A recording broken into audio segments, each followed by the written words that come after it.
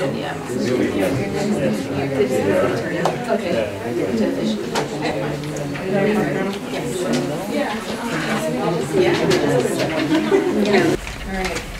Good evening, everyone. Thank you so much for coming out here on a cold um, Tuesday evening. So I, I'm Janet Cerrone. I'm a Sunset Park resident. I was born and raised here. Um, there's about two generations of my family living here, and we're very invested in staying here and staying put. So uh, I am one of the members of, of the Sunset Park Organized Neighbors Group, also known as SPAWN.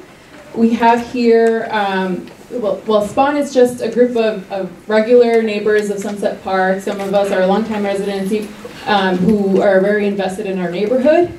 We live, work, or, and have children that go to school here, so we're very invested um, in how our neighborhood uh, develops and grows, right? So some of us are also members of the original coalition of Protect Sunset Park that fought against the Bloomberg, um, the Bloomberg time rezoning of 2009 and were involved in the lawsuit there. Um, there's some news coverage on that if you want to uh, Google search it as well. Now, last year we learned about Industry City's rezoning plan. And we sought to bring the majority Latino and, China, um, and Asian residents of Sunset Park together and started organizing and putting together some petitions to um, started organizing to get people to sign petitions to um, basically say no, we are not approving this proposed rezoning plan. We delivered um, these petitions that were about 4,000 to uh, our council member Carlos Menchaca in September. A few weeks later, um, some of you may have been at the town hall that he hosted. Now, here we are um, a few months later in 2020. Now, going to discuss IC's proposed rezoning plan. We're going to discuss uh, what the formal process is, which is called ULURP, but it's uh, known as a Uniform Land Use Review Procedure.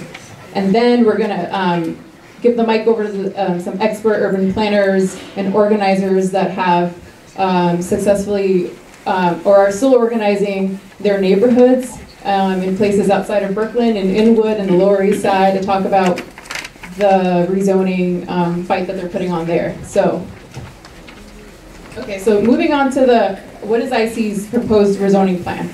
So if you look at 3rd Avenue, um, between 32nd and 39th Streets, there's these very big warehouse buildings, right? This is kind of an aerial, aerial view of what uh, Industry City looks like.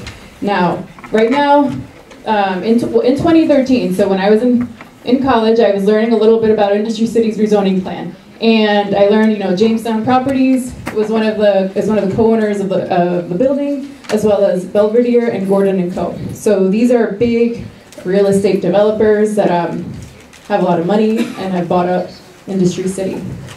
Industry City is made up of about 16 buildings.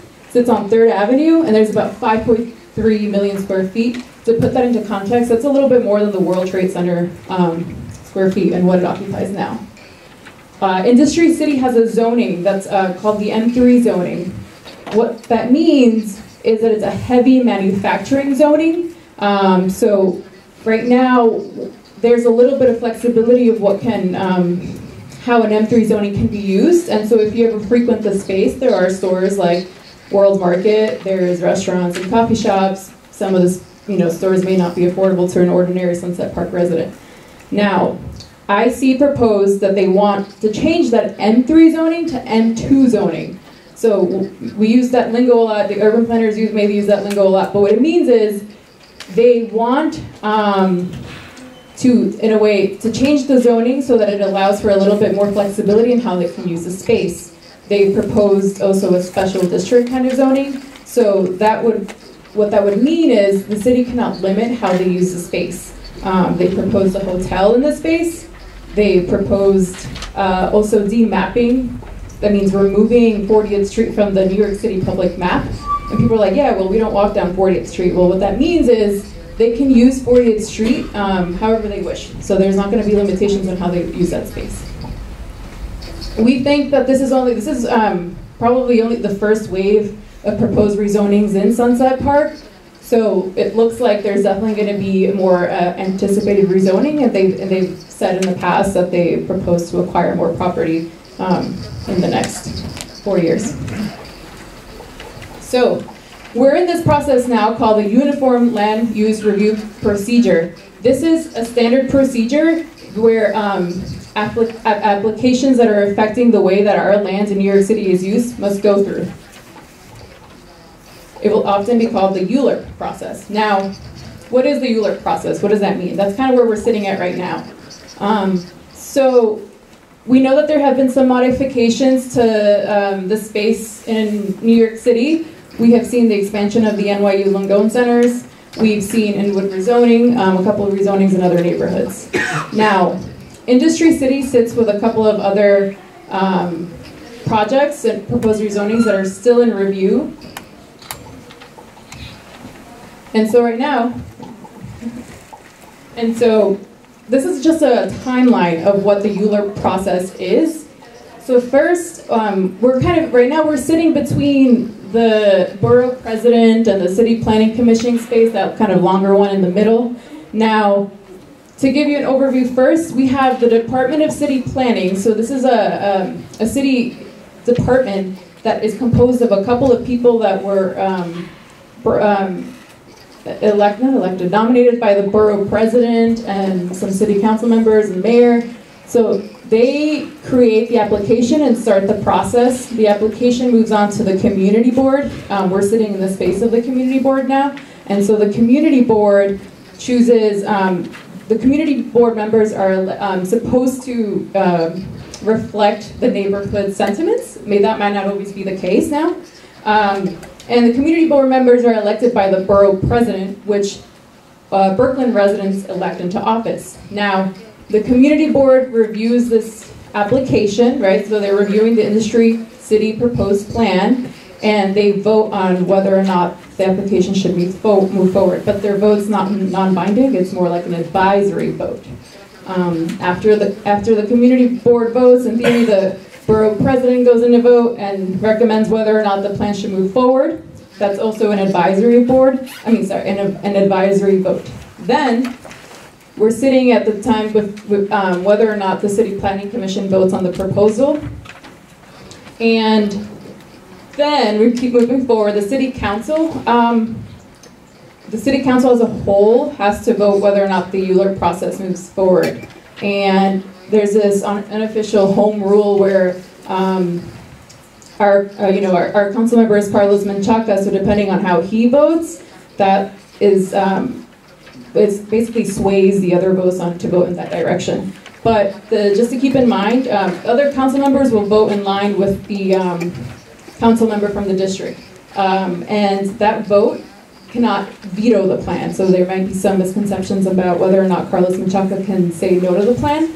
Um, he can propose no, but it can't, he can't veto it.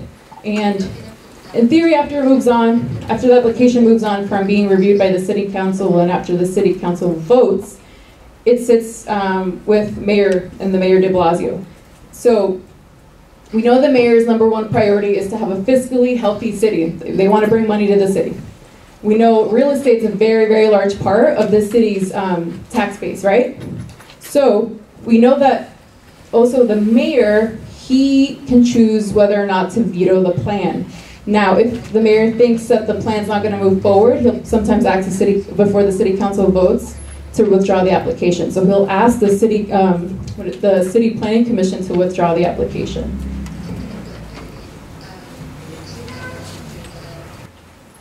Um, in September, um, council, you know, member Menchaca hosted an event, a town hall with a couple of Sunset Park residents and talked about um, Industry City Our Way. That was kind of how he pushed the, the idea to us.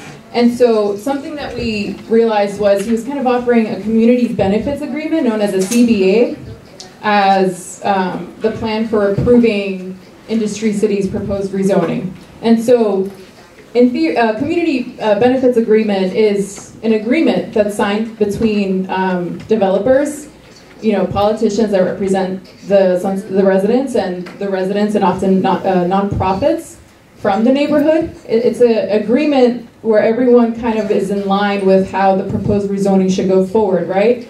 Um, so in exchange for support on the plan, we, there's some concessions. Um, we know community benefits agreements are not legally binding, and some of and our experts are to go more in depth about what these are, right?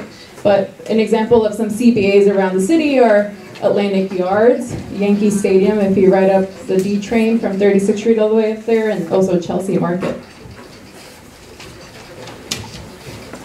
And so, moving forward, why are we here today? Um, we want to hear from the expert planners in the New York City arena and how um, other residents and other neighborhoods have mobilized and fought against proposed rezonings in their neighborhood.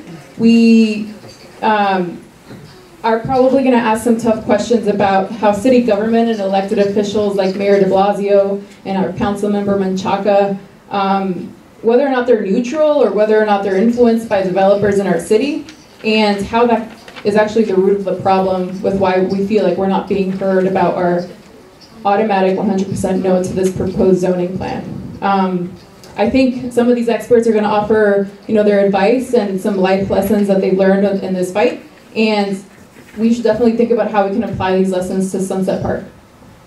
So first, I'd like to introduce um, Tom Angotti sitting closest to me right now. He's a professor of emeritus of urban policy and planning at Hunter College and the Graduate Center, CUNY, um, City University of New York. He was the founder and director of the Hunter College Center for Community Planning and Development. His recent books include, um, there's a list, but uh, there's a, a, pretty significant amount of publications, which is pretty neat. Um, so there's Transformative Planning, Radical Alternatives to Neoliberal Urbanism, zoned out, race displacement in city planning in New York City, urban Latin America, inequalities and neoliberal reforms, the new century of the metropolis, New York for sale, community um, planning confronts global real estate, and he's an editor of ProgressiveCity.net and is active in community and environmental issues in New York City.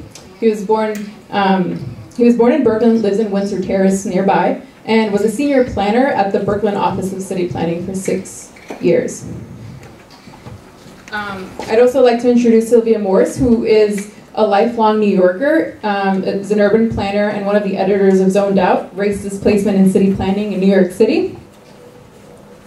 And I'd also, sitting next to Sylvia is Lena Melendez, um, she's a social worker by training and is a lifelong resident of Washington Heights in Manhattan, uh, and also is also a member of the um, Inwood Legal Action. So she can talk a little bit more about the Inwood rezoning plan. And then sitting next to Lena is Zishan Ning. Uh, from the Coalition to Protect Chinatown and the Lower East Side, and member of Youth Against Displacement.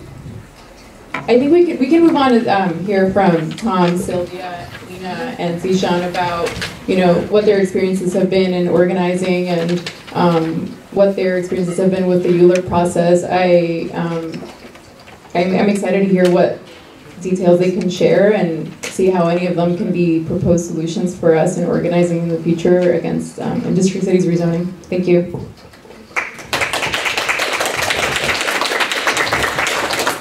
Okay, deep breath. Um, it's a good way to start because I think that there's a real sentiment there um, from years of people feeling like they're not being heard and also constantly going through these exhausting processes and then don't see as anything as a result. So um, I think there's truth in what just happened.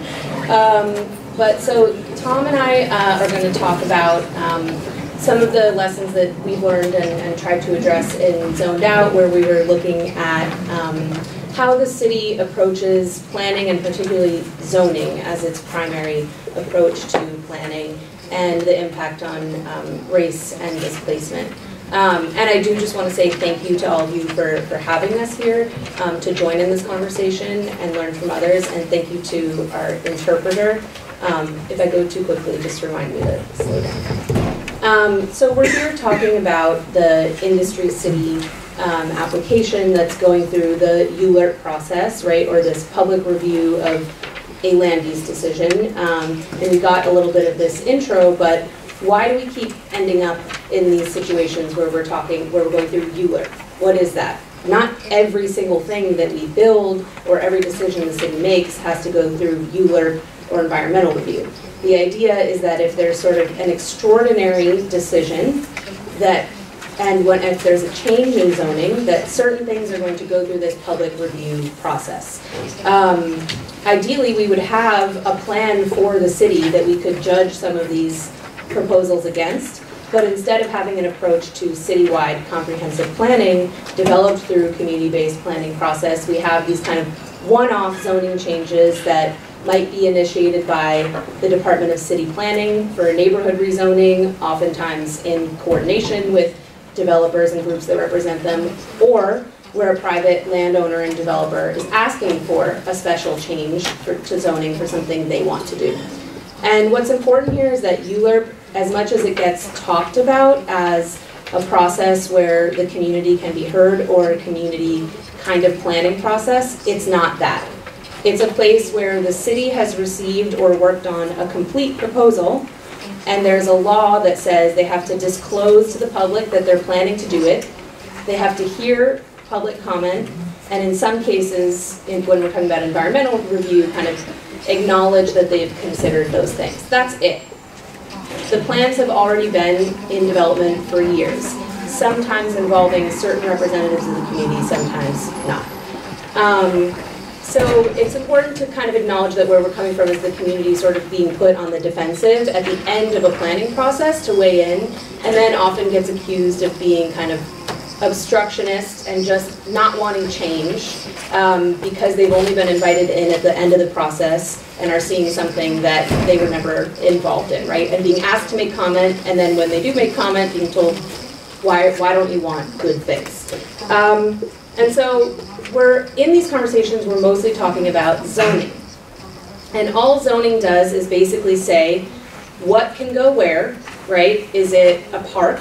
Can nothing be built there? Is it, a, is it um, for residential use? Can people live there? Can people work there? Um, can you make heavy, noisy, kind of smelly, dangerous things like manufacturing? That's what zoning says. And then how big can it be? Um, so that's a pretty blunt tool that's only one part of city planning. Um, and it's not very good for addressing our entire history of uh, racial oppression and inequality in this country, particularly because we're talking about how we regulate land. And in this country, we it's built on stolen land, and the white wealthy class has built all of their power and wealth primarily through land, and by policing it through actual police forces and police powers like zoning, to keep it in the hands of the people who stole it and have continued to acquire it over the years, right?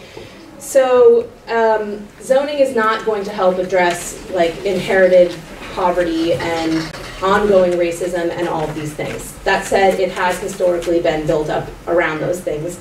Um, like I described, and even like the, the zoning resolution that we have in place today, the beginning of zoning was really had to do with property developers wanting to protect their property rights and kind of put the noxious uses over there and other uses over there. And we talk about in zoned out histories of, you know, throughout the US where people actually wrote racial exclusions, sometimes explicit, sometimes less so, um, to keep certain neighborhoods uh, white in most cases.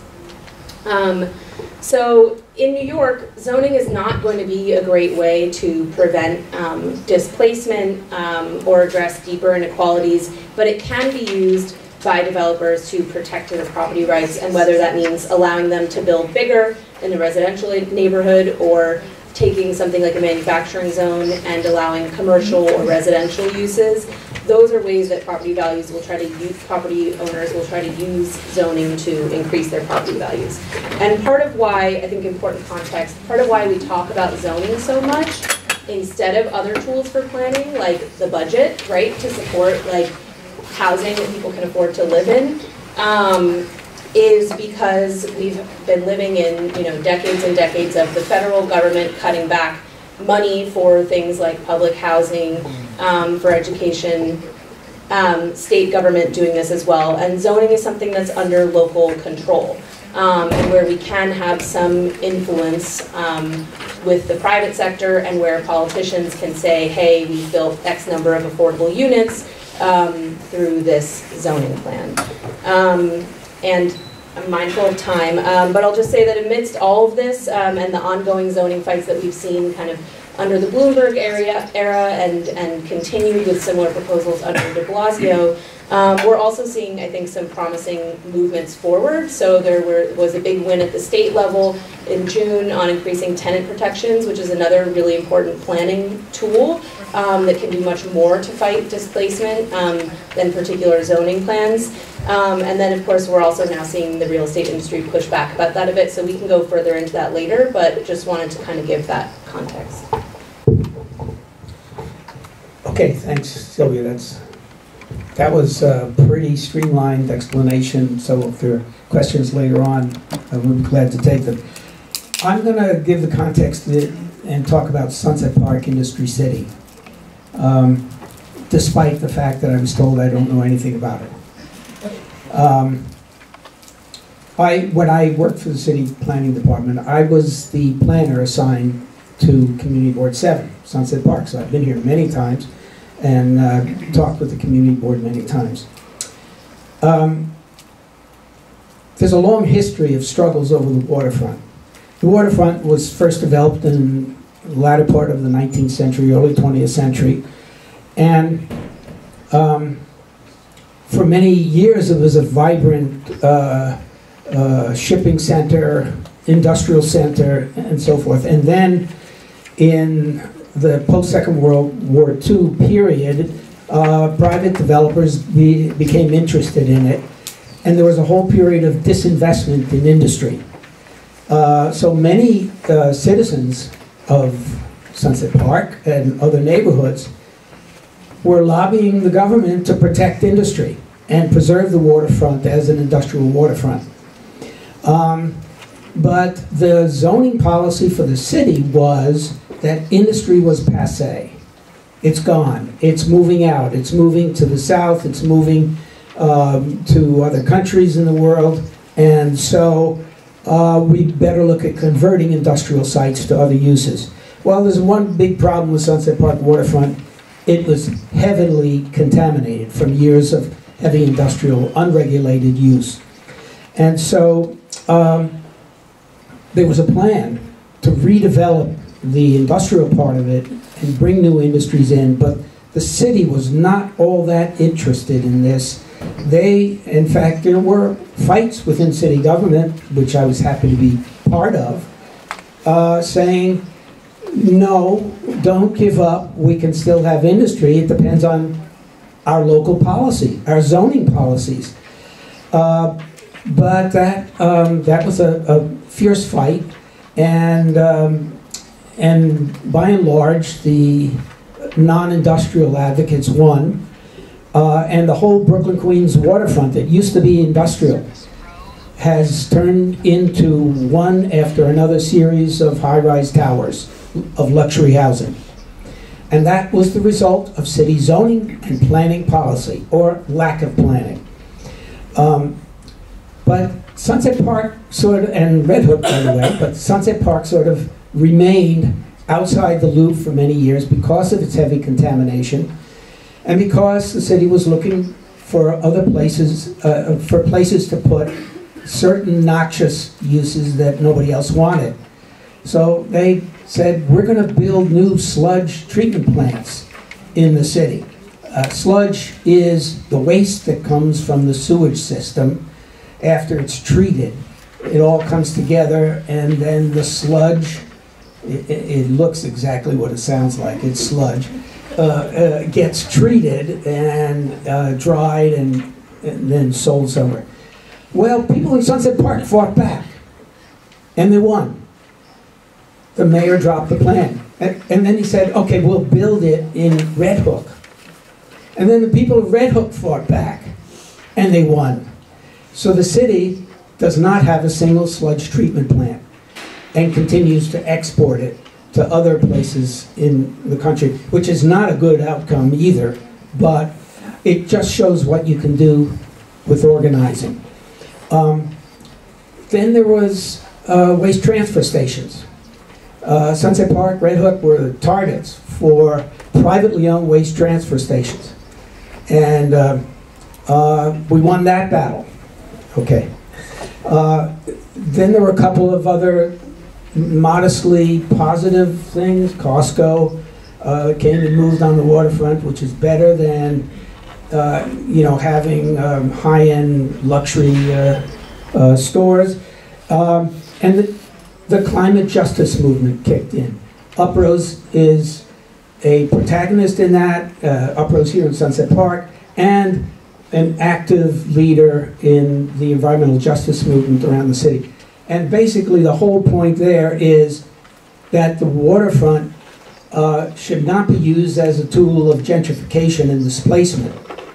When you bring in high-end commercial uh, uses and uh, residential, and you put them in there, you jack up land values and rents that force out people that are not on the waterfront, that are in uh, Sunset Park itself. So, um, Uprose won uh, a couple of battles, and one of the most important one was the park on the waterfront, which was uh, um, decontaminated and a, a park with public access. There, that whole area was not accessible to the public, and now it is. So, um, I just want to end with what I see as the problems with the industry city plan. It is, uh, it is providing as a substitute for all of these noxious uses, an even more noxious use, which is luxury retail, high-end retail, and services that are not meant to serve the working people of this city, of this neighborhood, and of the city. And uh, my final problem is an even bigger one. The whole Brooklyn Queens waterfront is in danger of being submerged in the next um, 30 to 40 years because of sea level rise. The scientists are predicting up to nine feet of sea level rise. And the city continues this absurd policy of building high-rise housing on the waterfront, and the real estate people love it. Why? Because they recover their investments in 20 years, 25 years. And then, if we're all living underwater, it doesn't matter to them. They made their money. And the city is closing its eyes to the reality that the whole Brooklyn Queens want. They want to build a, a trolley line, the BQX, uh, to go up and down the waterfront. It's going to be underwater in five years or 10 years. You raise it up and nobody will use it. So um, um, I, I think uh, uh, the fight here in Sunset Park is very important. Yes. Eh, That means both of us. okay. Uh, because we are beginning to see the beginning of the end of these zoning sellouts because people are opposing them, and we're going to hear about uh, the Inwood rezoning, but uh, every single one of Mayor de Blasio's rezonings has been hotly contested, even when they won.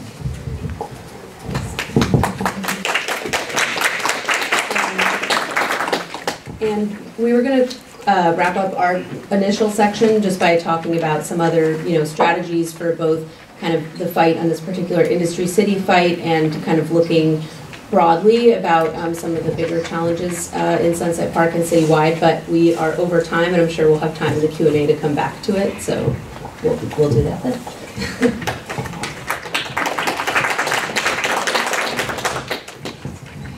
Hi, my name is Lena Melendez, and um, I'm a renter.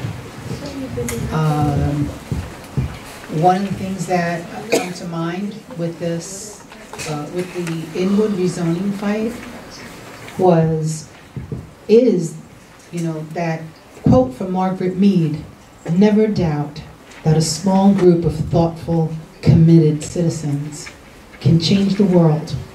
Indeed, it's the only thing that ever has. That's something that, it was certainly true for the Inwood fight.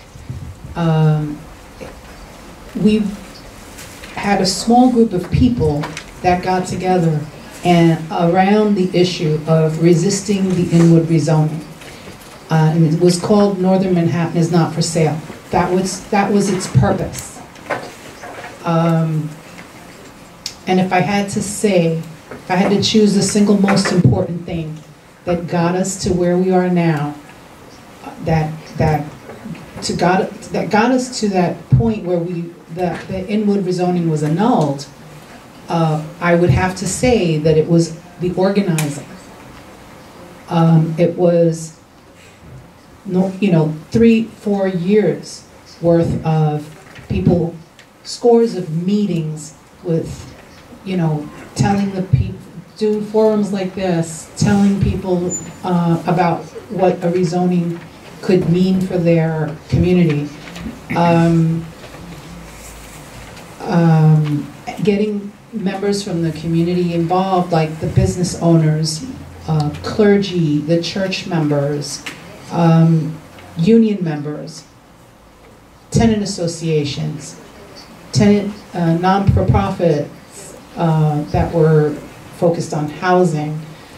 Um, full, we had a full-time paid organizer as well. So that's something that contributed to the success of the organizing. Um, um, among the dozen plaintiffs, these were, you know, a lot of, let me, let me back that up. Northern Manhattan is not for sale was one of the plaintiffs that was named in the Inwood rezoning, uh, the, the lawsuit, the Inwood legal action lawsuit.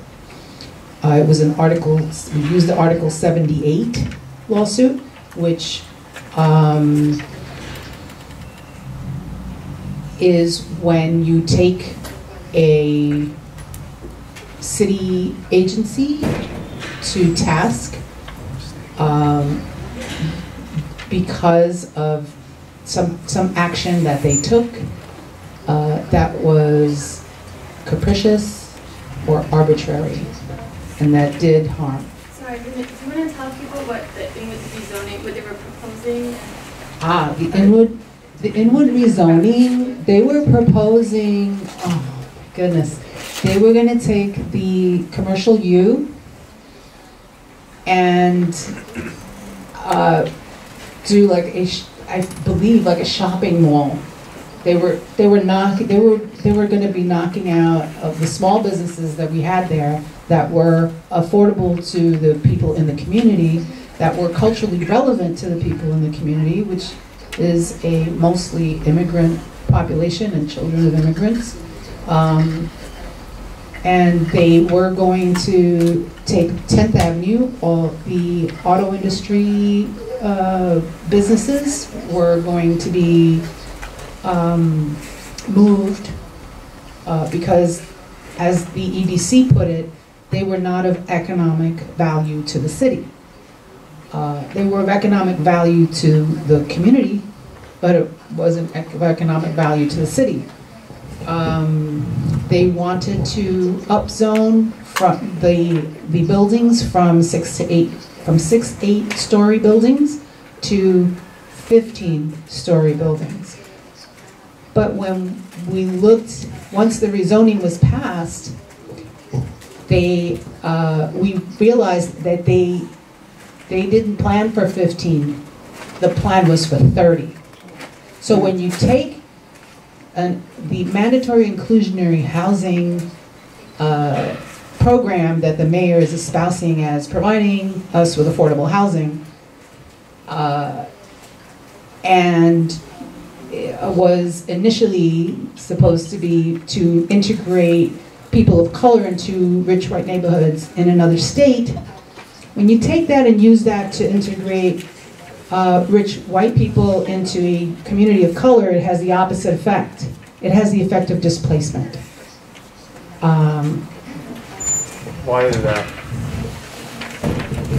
because of the, because you're taking, you're asking a developer to make eighty percent uh, uh, market rate apartment units and only taking, building twenty percent of so-called affordable housing, which isn't affordable to anybody in the community.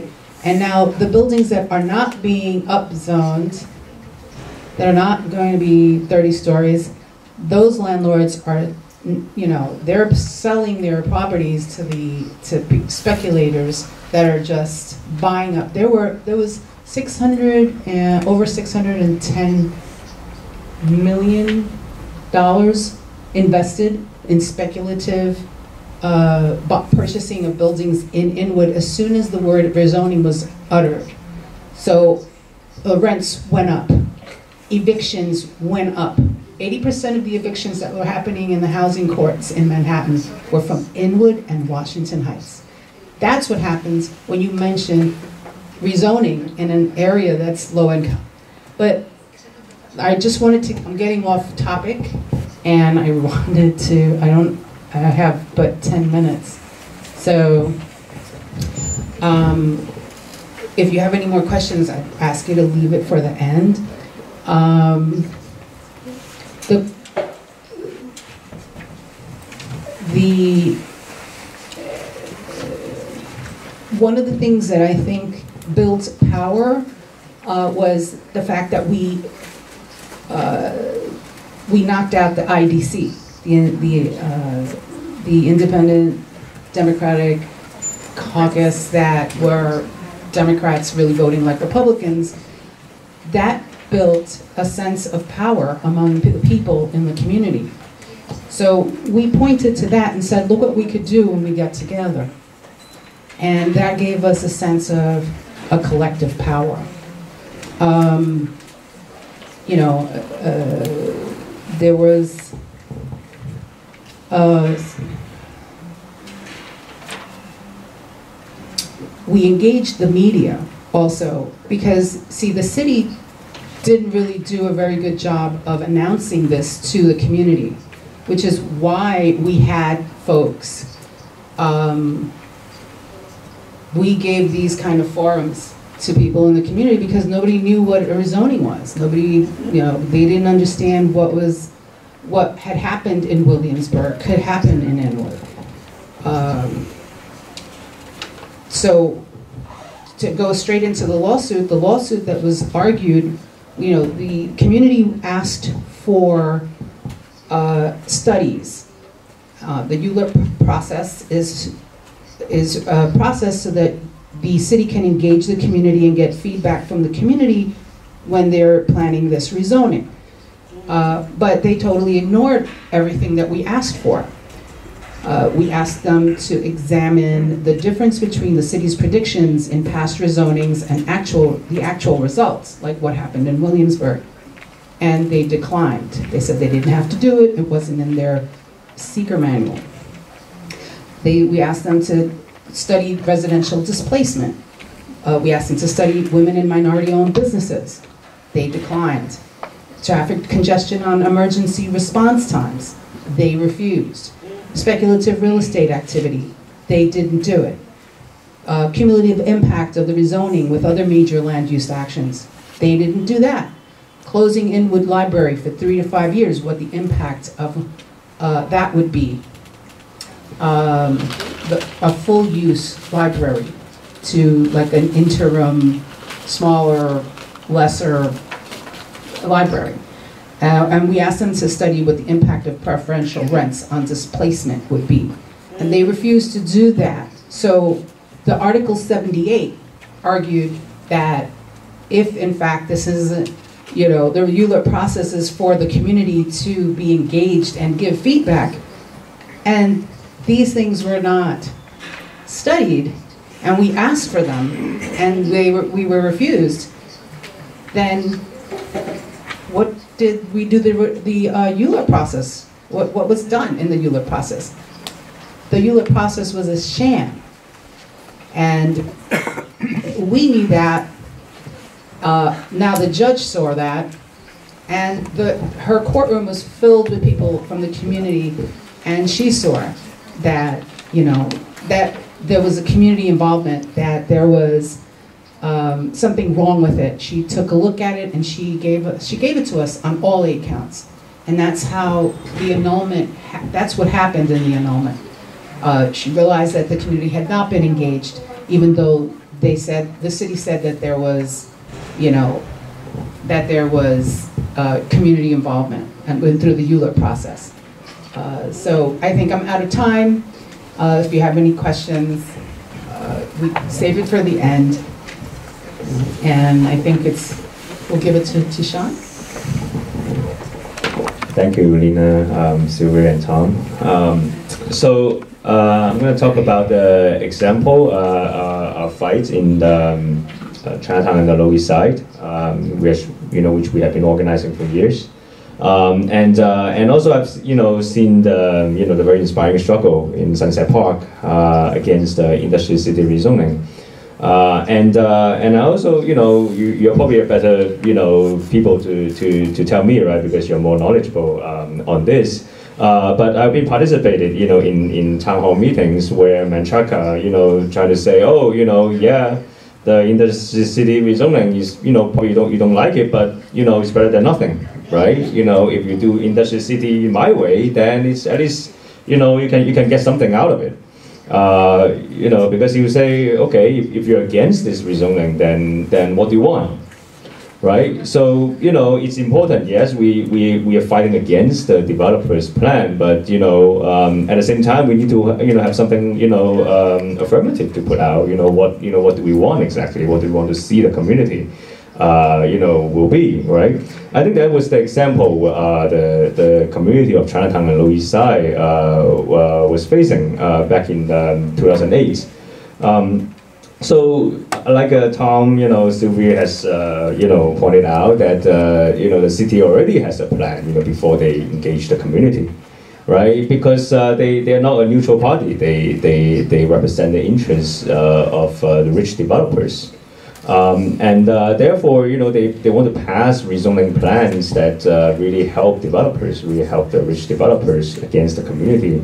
And uh, when the community try to put, put up something, then they will say, oh, you know, we can't do anything about it, you know. And like Menchaca say, oh, if you want to put out your, your, your own plan, you know, you might have to wait for 10 years. Um, and uh, of course, you know, because they're not in our, in our interest, then, you know, then that, that's the excuse. Um, in 2008, the, the city uh, uh, in our neighborhood, um, Lower East Side, Chinatown, and the East Village, uh, which are all part of the Community Board 3, um, they uh, try to pass the uh, protective rezoning uh, of East Village, at that time already mostly um, white middle class, um, to, to protect the neighborhood from, from luxury high rises. Uh, what does that What does mean is that uh, they will uh, put high limits uh, on any new developments, uh, so that you know as a way to discourage uh, these luxury developments and speculators from coming in. Um, at that time, the Chinatown and the Lower East Side came out protested against this plan, saying that you know it's racist. It's you know because you protect the white middle class, but not not us. Uh, as a result, the, the, the development will, will come down to Chinatown and the Lower East Side. And uh, the Bloomberg administration at that time, because of the pressure, he said, okay, then you guys uh, should come up, come up with your own plan. Uh, so he agreed to, uh, to uh, the community to form what later became the Chinatown Working Group to come out with our own rezoning plan. So uh, to, to just to say, you know, uh, uh, you know, to to to, to uh, again, Tom and Sylvia highlighted earlier that uh, you know zoning is a tool, right? So um, you know when when the community, you know, uh, the community can also use the zoning uh, to to uh, you know give protection.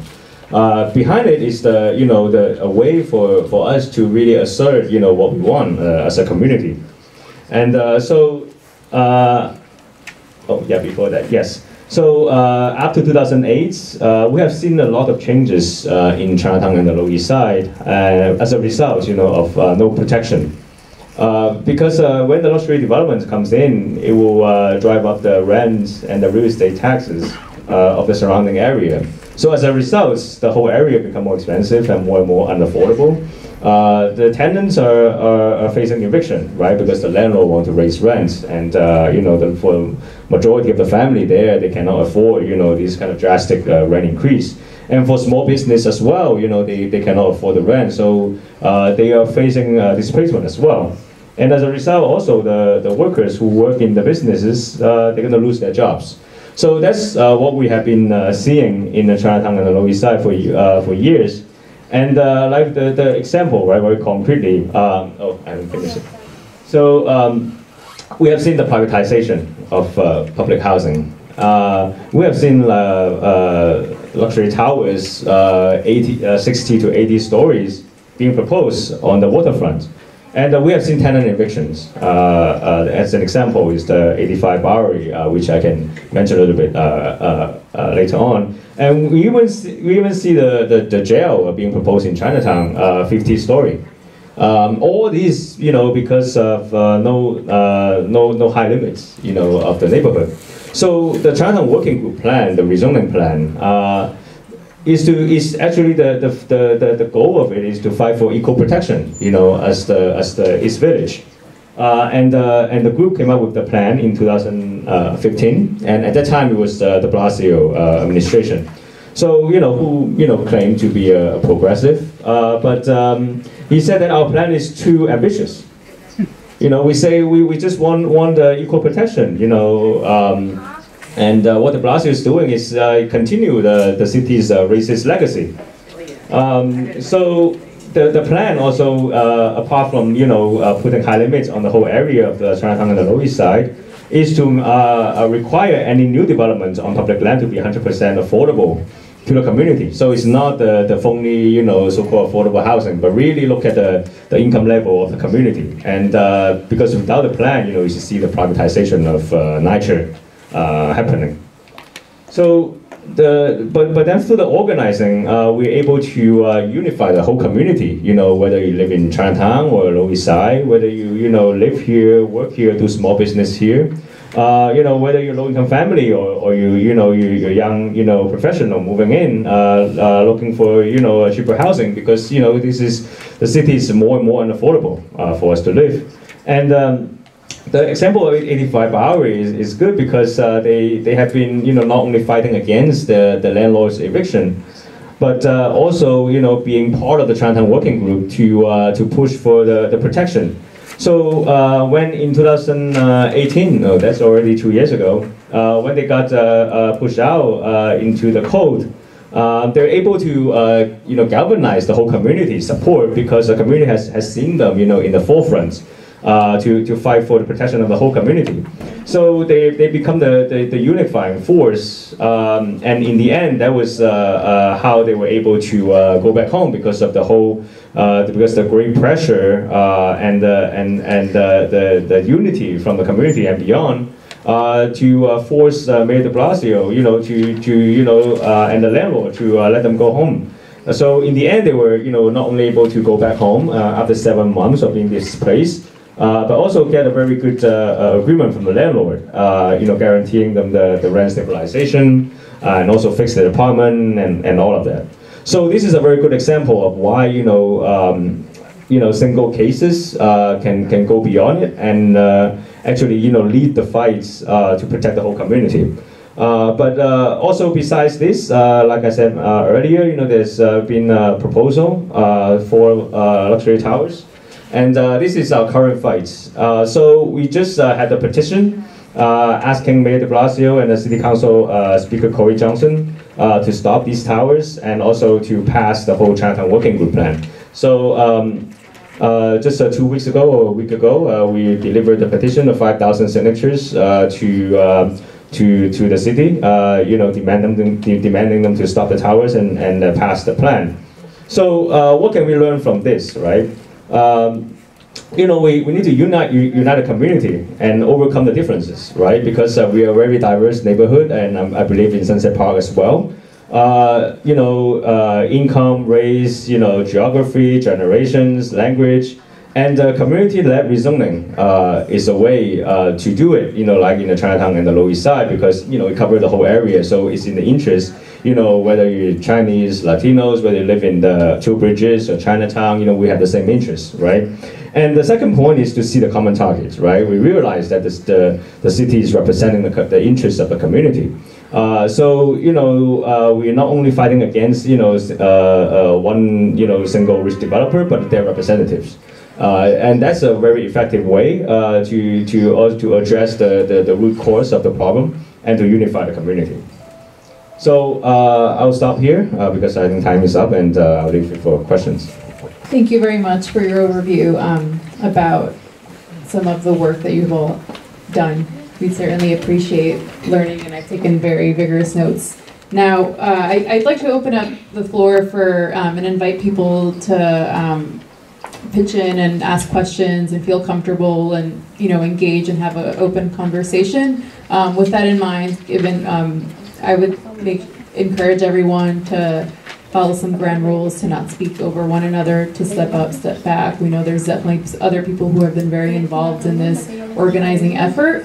And I'm not standing here as an expert on the rezoning plan, but I'm just standing here as a Sunset Park resident who wants to hear um, everyone's opinions, but will also not um, stand for any disrespect um, against any other, you know, uh, member who's here.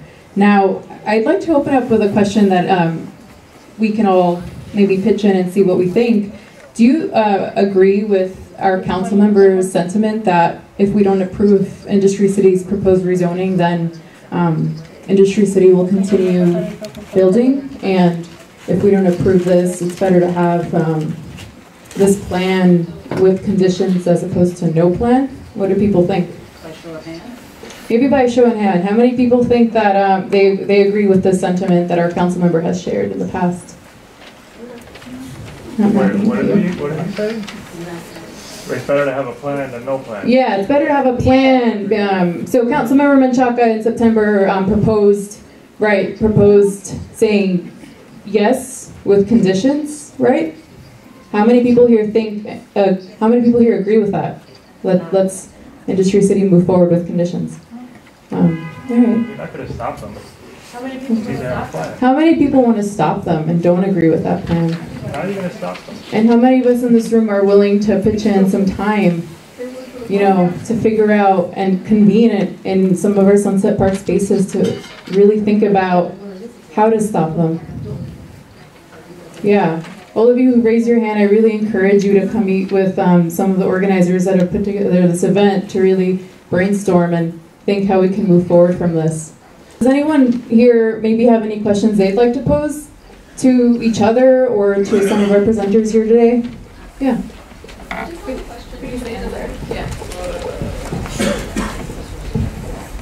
have a question about um, just like urban planning and zoning regulations. Um, what's the likelihood of instead of um, pulling back on the restrictions, enforcing stronger manufacturing restrictions, or what are the chances of um, modifying the city's current zoning regulations so that um, there's not as much wiggle room even with an M3 zoning?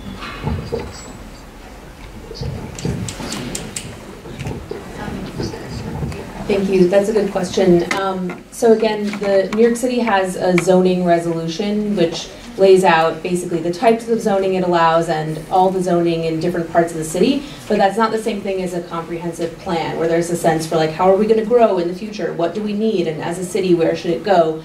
Which is why, again, we tend to see these neighborhood rezonings or um, a specific kind of, we don't call them spot rezonings, but like these zonings where the developer is requesting something. And again, with ULURP, we're reviewing a proposal that Industry City has put together. So I don't personally think that the negotiations through ULURP are typically the best place to try to push back in that way. Because again, the proposal that has been certified with city planning and is being reviewed comes from, is developer initiated and has a different vision. Um, there are community planning effort, like Sunset Park has a 197A plan, which is a community-based plan. It doesn't have much teeth, right? But there is a vision there for what that could look like.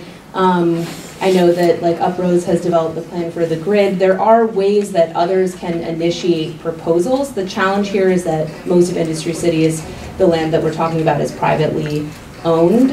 Um, and so it would be hard for the city to basically force Industry City to change uses. We, there's usually a thing in zoning called like grandfathering, um, where basically if something's already built and then the zoning changes, it's not necessarily going to be considered, like the things that already exist are not out of compliance. Um, it's only new things that would have to comply. So that's, those are some of the challenges, I think, for some of what you're talking about. But citywide, we could certainly think about, right? Like, how do we think about our need for um, affordable manufacturing spaces? The industrial zoning has not substantially changed for, uh, since 1961. And there's no plan afoot to change that industrial zoning, which shows you kind of what the political priority has been, which is nil. Um, So I don't, I don't think the zoning categories are good enough in order to shape an industrial or even a small business area. Um, Zoning is, uh, I I- I think as Sylvia was saying, is a very weak tool uh, for planning. And the kinds of serious planning that need to occur uh, don't fit into the narrow uh, zoning regulations. And the problem is, you know, when it goes through ULURP, any change goes through ULURP, uh, one, this is another point. Once it's certified as complete by the city planning department and starts the ULURP process, the city will always have an excuse why they can't change something. Because they already said, this is the plan, and an environmental review has occurred, and we can't redo it all again, or the applicant doesn't want to redo it, so nothing to discuss. That's why once it's in ULURP, forget about trying to introduce serious and important and subtle changes.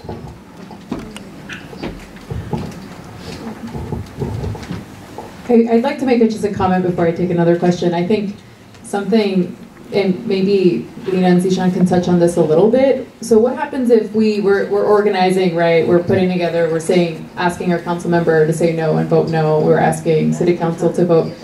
But what happens, um, I think some of the neighborhood sentiment is that we're not being heard.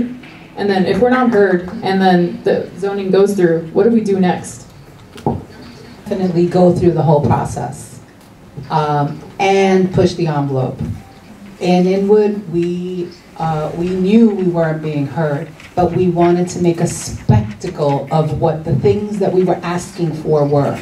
We occupied his office, the councilman's office. Uh, we did a block party and cornered him on the stage and, and told him, and asked him what it was, what changes he, because he was saying, oh, I'm not gonna pass this rezoning until there's certain changes. So then, tell us what the changes are. That's, we cornered him. And he, and we told him, he says, look out and tell the, the, tell the people that are in this block party, because these are, the- we put it, we used, we did the block party in one of the poorest blocks of Inwood. And you tell those people, you tell your people, you tell your constituents what those changes are. And he wouldn't, he wouldn't, and we pressed him and we pressed him. And he finally said he was giving, giving up five city buildings and they're going to be hundred percent affordable, community affordable, and we're still waiting for that.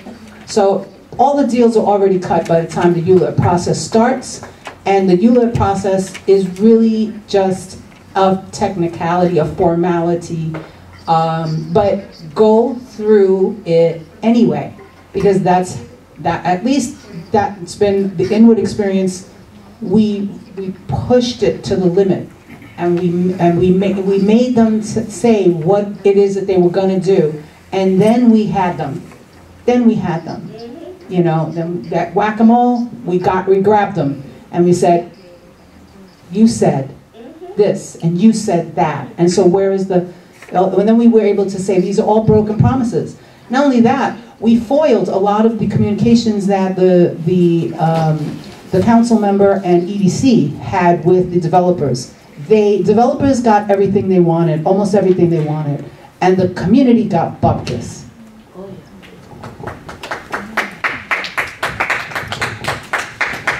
Well, I think the, the you know the three speakers have uh, said most of it. Um, but I mean, I just want to um, you know emphasize that the um, you know if, if the city doesn't like your plan or the city doesn't doesn't want to hear you, of course they have all kinds of excuses, right? They can tell you every step of the way that nothing can be done.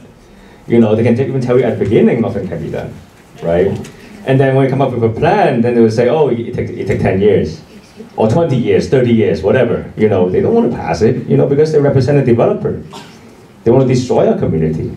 This is our community, right? So, so you know, in the end, of course, you know, we, you know, the first, of course, you know, we, we don't have any illusion of the, of the politicians. And then second, you know, like Lina said, you know, of course they will put up all this process, right? You know, the youth they want to use the process to drag you out. And then, you know, we're going to try to flip it around and say, you know, we use this process to organize the community, you know, and, uh, and make it bigger so the city cannot, you know, ignore us right? And then, you know, the city has to listen to the people, and if the people organize and give, you know, enough pressure, of course, anything can, can, can change, right? Just like, you know, in the, the Inwood example, you know, they passed it, you know, de Blasio even signed it, and now, you know, they have a lawsuit and win, right? So don't let the politician, you know, tell you, you know, nothing can be done, right? I mean, in, in, the, in the end, yes, it is a, a power struggle. You know, it's either the rich developer or the community.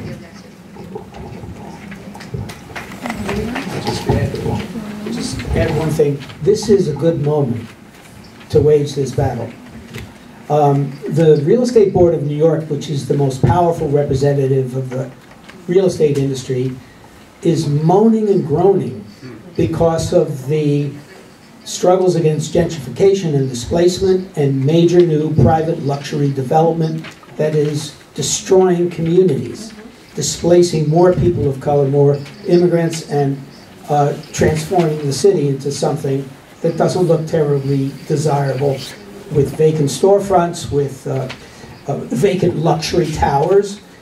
Uh, You know, after they argue that they need more building in order to provide housing for people, they're producing buildings that are half empty because they're being sold to investors who live all over the world and they don't live here.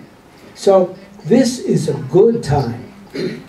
And you're in a good, good uh, uh, uh, position because uh, most of the city council is going to come up for reelection. Oh, yeah. So they're watching their So it was backs. their term limit. They're term limited, that's Oh, yeah, right. they play games.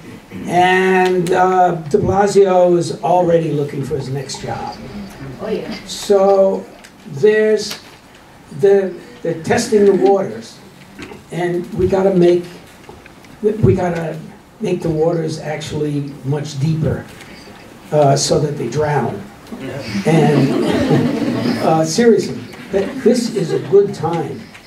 Now, so I encourage people to keep organizing and stick to your guns and say what you, and the 197A plan is an, was officially approved, approved by the city planning uh, uh, department. And then they threw it away like they did all the other 197A plans. But you stick with that. It's a, there were a lot of good proposals in that about public access to the waterfront, about industrial preservation, about preserving the small businesses. And did they even read it, look at it, uh, and, and take anything serious? That's the problem. That's why nobody's doing 197A plans anymore, because the city dishonors the community plans and only listens to the plans of big developers. Thank you. Um, Does anyone have any questions?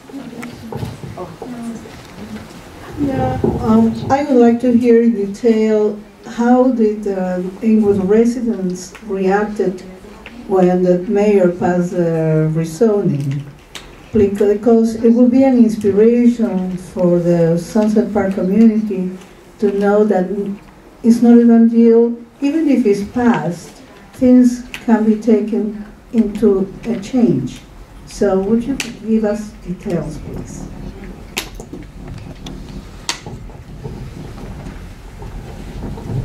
When that rezoning was passed, I think for a period of two months, everybody was depressed, including myself. And we felt very defeated. But there was something about us that just could not stand there and accept it. And even some of the groups that we worked with said, forget it, it's a done deal, it already passed, what are you fighting about? It's over, give up. And we just couldn't do it. And we said, we don't care. Even if we lose again, we have to fight. Because, you know, we just have to fight. And we got together and we did, um, we got 15 I think it was 15 petitioners, people that I, I, I culled from, uh, two people from the community, uh, one that had lost her business after 30 years and three generations. And another one, another lady who had been locked out of her apartment illegally with her dog still in it in a snowstorm with her two kids and had to walk 40 blocks to her mother's house. Uh, and these two people were like, yeah, we're going to go on this petition. And even if nothing comes of it, you know, it's like, you know, it's like telling, you know, it, it's, you have to fight. You can't just sit there and say, okay, I surrender. We, I, I mean, you know, we totally obliterated Ydanis Rodriguez's political image in his district. Nobody, hardly anybody voted for him. He got six percent of the vote for public advocate. And that was because we did, we put up, we did shenanigans, we, you know, that, that uh, Halloween, we, we put up a thing called uh, right? With, with this big nose, like a big liar. We just got really creative. Um, you know, like we, we just, we just, you, you, when you fight, you win. When you, when, if you don't fight, you definitely lose. Um,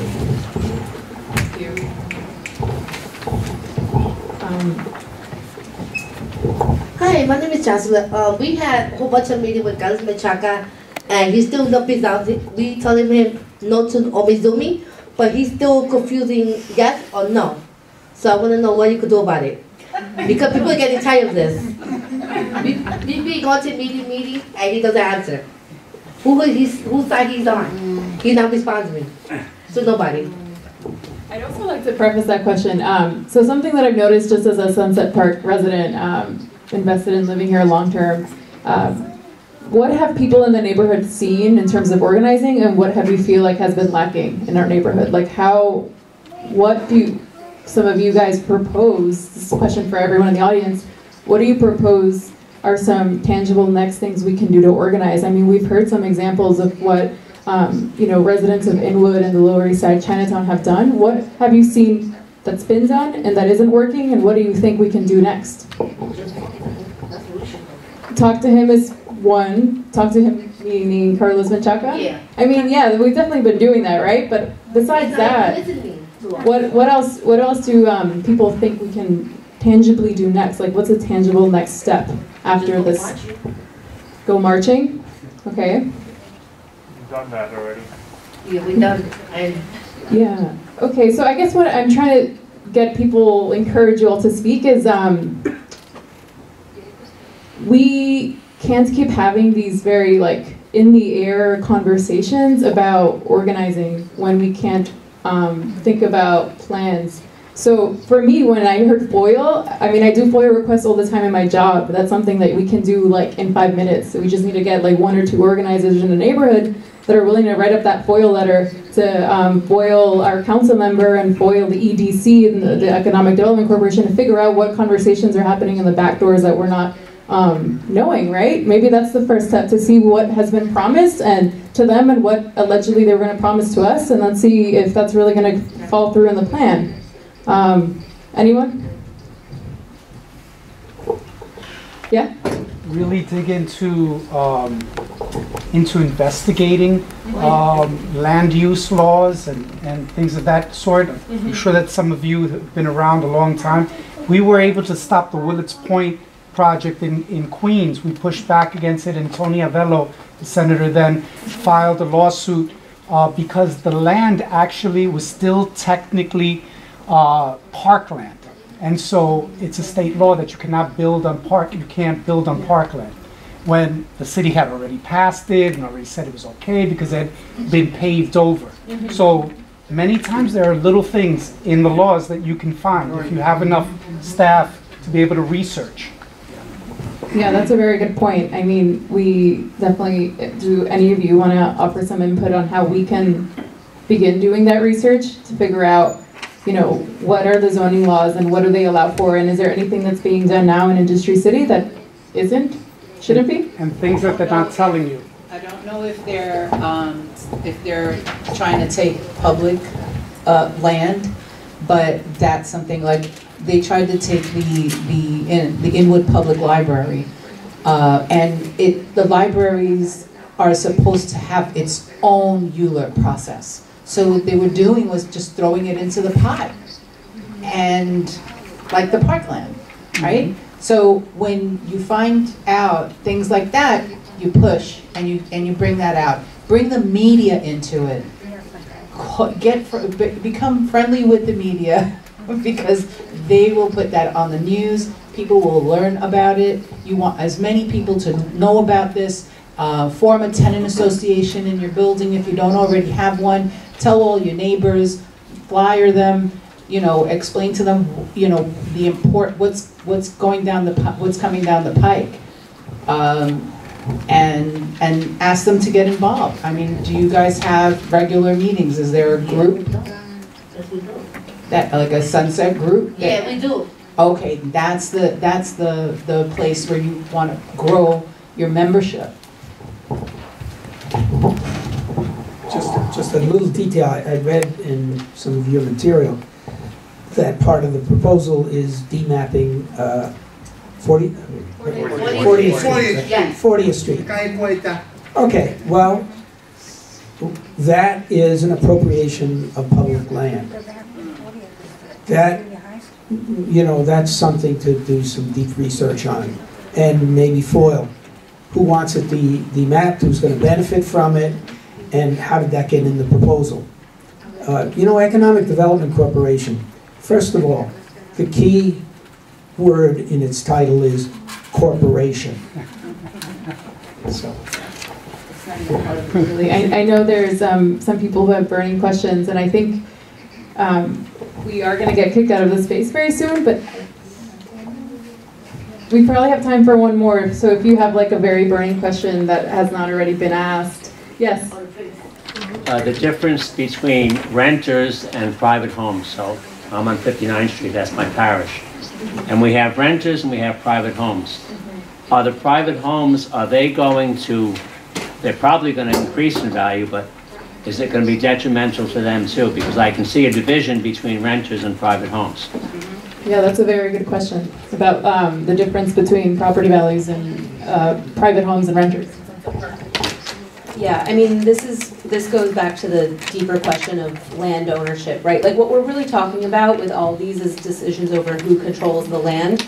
And a big reason that zoning is an adequate tool is because the question is, like, where is the community-owned land, right? And we, it's exciting that we have a growing movement around community land trusts. Um, there's a group of workers who are trying to organize a housing co-op here in Sunset Park. Like, there are a lot of ways to get to that question. Um, and that's part of the reason for the divide often that we see between um, between homeowners and tenants is because, and it's one reason that, for instance, like in the East Village or any neighborhood where we've seen a down zoning or a contextual zoning, it has a different effect on people who are homeowners, right? Because if there's a strong market for single-family homes, um, it can raise those those property values. Um, but again, and, and so that's often why the city will be willing to do down zonings in those neighborhoods. And for renters, a down zoning isn't necessarily going to be a protection, right? Because it will still add to the squeeze on the supply, um, the competition for the housing market. And if we don't have strong rental protections, which now they're stronger, but if we don't have strong enforcement, right, people will continue to be at risk or the owners of those properties may want to sell them, um, which we were talking about, right? So there's a lot of dynamics. Um, but within, so there are often times where we'll see homeowners play a different role when we're talking about rezonings because they could benefit from increased property values. But we also know not all homeowners are the same, right? There are a lot of low-income homeowners um, who can really be burdened by, I don't know if this is the point you're making, but like increased uh, property taxes. Um, there are homeowners who may be really tempted to take a cash buyout. I think cash buyouts are a huge issue in Sunset Park. Um, so there are a lot of ways, I think, to build solidarity between tenants and homeowners and think about kind of the long term. Because for especially someone who doesn't have generational wealth, um, if they sell that that home, that's kind of like a one-time cash out and no long-term plan. Um, I don't know if that's totally what you were getting at with that, um, and maybe you want to make this. Yeah, um, there's, two, I, two things come to mind right away. Um, the, we're not taught, uh, when we, when, when we, we're not against small homeowners, people that have one or two homes for, you know, their own use and for, for property values. We are, uh, we're, we're, n- we're not liking, uh, the landowners that have two and three hundred buildings, multi-family buildings in their portfolio. Um, And when the value of a property goes up for a small homeowner, the value of the taxes go up and they have to pay more taxes, and that could be burdensome to them. But another thing that happens is the property of the multifamily uh, building goes up, and so the commercial spaces for the mixed-use buildings, they, the, the stores then get that pass-along. The taxes are passed along to the commercial tenants, and we see a lot of uh, uh, stores that are our favorite stores closing up because they can't afford that increase. Um, I add, add on a little bit uh, because uh, in Chinatown Lower East Side we probably have a little bit different situation because um, um, you know most buildings are, are, multi-units, right? So, but then you know we do have uh, uh, small uh, proprietors are actually part of the Chinatown working group when you know when we were formulating the, the, the plan and as uh, Lena highlighted earlier, you know, there's you know this kind of uh, very very contradictory you know kind of thinking you know in the in a uh, uh, small proprietor. You know, on one hand they want to see oh the, the, the value increase, but then on the other hand they have to you know pay pay pay more tax you know for it. And uh, so, you know, in, in, in our example, you know, the, the, the, the, renters and the small proprietors, they, they uh, see the common interest, right? They don't want to pay, pay more, you know, because the community are, are getting more and more unaffordable. So that's why, you know, the, again, you know, we, we use the, the, the zoning to, to uh, unify them because uh, let them see the common interest, you know, to give the protection to the community. So that way, you know, you know, we we're able to bring them together, but also they also identify, you know, you know, now the the, the, the, the mayor is the is the is the, the problem because they because, because he's against the renters and he's against the, the, the small proprietors. You know, so you know, I, I, I can't speak for Sunset Park because you know it's probably a different situation. But you know, maybe you know through the organizing, I think people kind of see more common interests. So you know, like like who is the who is the common target we, we, we, we should we should we should fight against, right? Rather than fighting among among ourselves.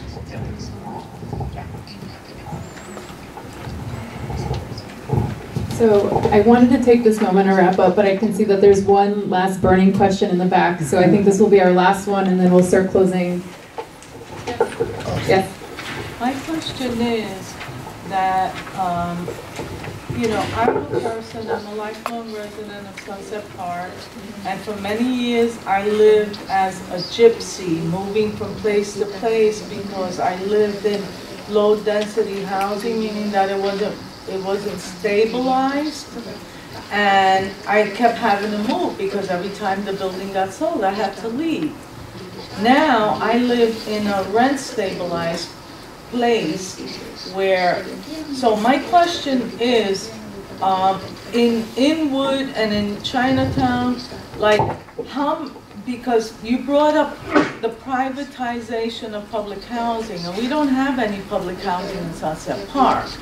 So my question is, um, private hou, um, public housing is, is stabilized. How do these people then become displaced?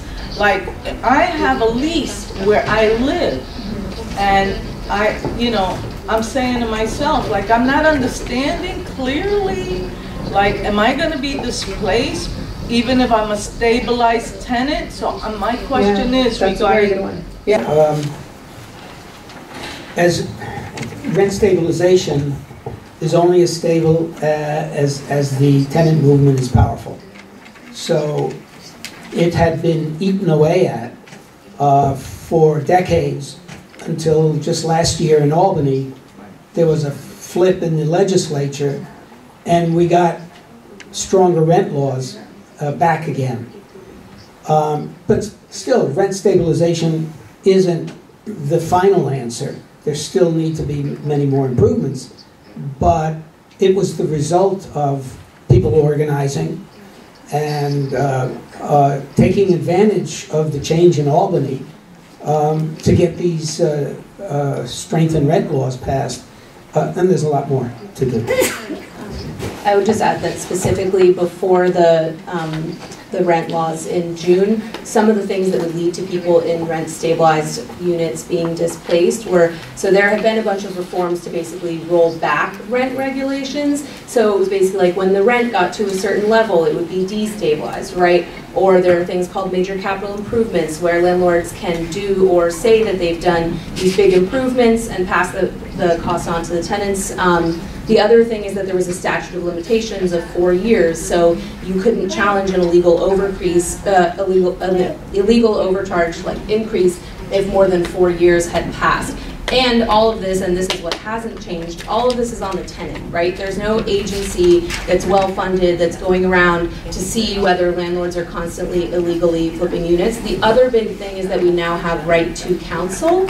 So what that means is that if you go to housing court, you have a right to a lawyer similar to criminal court. And we've seen through the combination of both those things, the, um, the number of evictions dropping significantly. But that doesn't mean that there aren't still lots of challenges, and that's why there have been some lawsuits that failed where, um, around rezonings where um, communities were saying that the city should in its environmental review, it should be when it's calculating potential displacement. Currently, it assumes that rent stabilized tenants won't be at risk of displacement when we've seen time and time again that that's not the case, right? Um, and so actually those challenges so far have not been successful. Um, but there are a lot of ways that this plays into to the relationship between basically when there's an upzoning that says, okay, there's a really hot housing market, residential market here, let's let the buildings be even bigger, for instance. That's what we see a lot, right? When people say rezoning, that's usually what they're talking about. So if you own a four-story building with eight units of rent-stabilized tenants, you're gonna wanna sell that thing. And in the meantime, until you can, you're gonna try to kick people out. Or we've seen sales of like Stuytown, where the business model and that like the loan that the bank underwrote was, was totally built around, okay, you have to kick X number of tenant, tenants out and increase the rent rolls by this much, right? Um, and the last thing I know we're short on time, but in a positive note. Um, so there's a movement, um, there's like a homes guarantee platform nationally. There's a group, many of the groups that were involved in the rent successes the, the last round um, that are pushing for some of the reforms that they didn't win the last time and more. And one of those is just cause eviction, which would basically um, add some of the protections that rent stabilized tenants have to all units, right? Whether you are in a rent stabilized unit or not. So there are lots of ways to get involved with some of these movements. I mentioned community land trust as another growing movement. Like there's, and obviously labor protections is a huge thing because your housing is only affordable as how much money you make. Um, so there are a lot of things that you can get involved with um, through and beyond, I think, this particular rezoning fight. I think there's a process by which a person uh, can get evicted uh, and lose their rent stabilized housing. You know, um, that is, uh, you know, it, the, the, the devil is in the details. Um, make sure you don't have a preferential rent lease.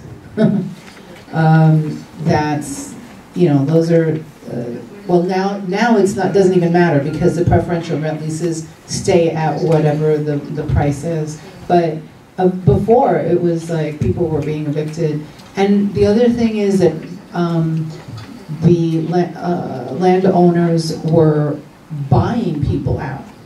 They were paying people 10,000, 20,000, and then like three months later, the person would be broke and homeless. Um, so they buy the ground underneath your feet, and then they push you out. And then they take that building and they down it, eliminate the rent regulated apartments, and put up a building that nobody can afford. You know, that's what, to me, but that's what rezoning is about. Uh, so to um, simply answer your question, uh, the cities put uh, profit over people, right? So as long as uh, that's the case, as long as the city encourage uh, luxury development and speculation in the neighborhood, the landlord will always want to, uh, you know, evict, evict you, right? Evict a majority of the, the, the families because they want to make more money, you know, by, by, by building high and building luxury units. Uh, you know, whether you have rent stabilization or not, right? They will try to find different ways, of course, you know, different tactics, right? If you have some kind of protection, then they will try to find, find some loopholes, they will try to harass you or whatever. So a different tactic. And if you live in NYCHA, yeah, they want to privatize it. And uh, by you know doing the you know raising the the, the, the price uh, of the surrounding area, you know people find it harder and harder to you know more and more difficult to, to live in the neighborhood. So in the end, you know they're forced to live uh, leave, and also you know they're facing harassment from the city as well because all because you know the city represent the interests of rich developers, and that's why you know they encourage all these things to happen. And the solution, of course, is you know for the people to come together, right? To say you know what we want, you know we want the protection of the community and, uh, and, and that way, you know, it's uh, you know the people enforcing the, the, the law. It's the people who, you know, um, you know, enforcing these protections. How do you know who your uh, uh, your poli- your local politician is working for? Look at uh, Open Secrets and see who donated to this uh, campaign. Thank you. Um, and with that note, I just really want to thank everyone who came out here tonight, especially, you know, um, Tom, Sylvia, Lena, Zijan for offering some um, tac- uh, very like tactical tools on what we can do next here. Uh, I encourage everyone to think about how you want to see your neighborhood in the next few years and what you think you can do now. Um, I am not I never imagined myself to be up here, to be an organizer, but I am the daughter of um, Mexican immigrants who was born and raised in a rent stabilized apartment. And because um, we live in a rent stabilized apartment, my parents sitting right here um, in the second row have been able to afford to send three um, young women to public schools and to receive a four-year degree. So I think a lot about if we didn't live in that rent-stabilized housing, they would never have been able to put us through school. Um, and we would have definitely been working some minimum or even below minimum illegal paying jobs. And so I think um, so many of the people here, like we shouldn't just think about ourselves, but really think about those children you see in the morning going to school, to our public schools here. We have several, several elementary primary schools here. Think about what future we're gonna leave for them um, you know, at least if you know the if, if we're if the waterfront's going to go down in 40 to 50 years, at least right now, while we're still here, while we're still present, while this city is still a sanctuary city, um, let's create those protection tools. I encourage everyone here, if you have any questions that are burning or you were too shy to ask, please contact Protect Sunset, um, the Sunset Park Organized Neighbors. We have our contact information up here. Um, I encourage you to look at the back, and there's some flyers about this event. There's also just our general SPON flyer. Um, stay involved, even if it means phone banking with us an hour a week, an hour a month. I mean, we could use the help.